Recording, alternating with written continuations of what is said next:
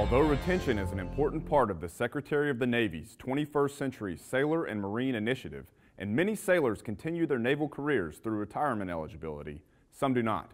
Those who choose a different career path often relate their success to the values and skills learned during their time in the Navy. We recently sat down with former sailors who have used the knowledge they gained during their service to attain success in the civilian workforce.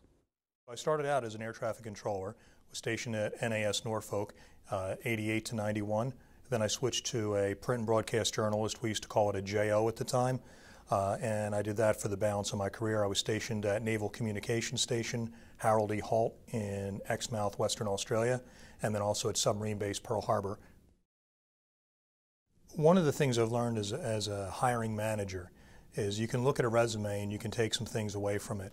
Uh, I've seen people that have you know, a bachelor's degree and two master's degrees, and then you hire them with you're very enthusiastic, and they don't necessarily deliver to your expectations. Uh, a lot of it, what it really comes down to, is character.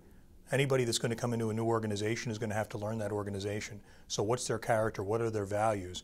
One of the things that I found is people that come out of the military, for the most part, have exceptional leadership skills, have exceptional work ethic, understand that it's about teamwork and collaboration, doing whatever it takes to get the job done.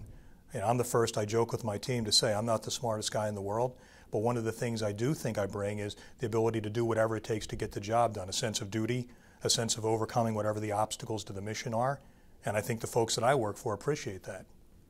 From the Defense Media Activity, I'm Petty Officer Andrew Johnson. Bye.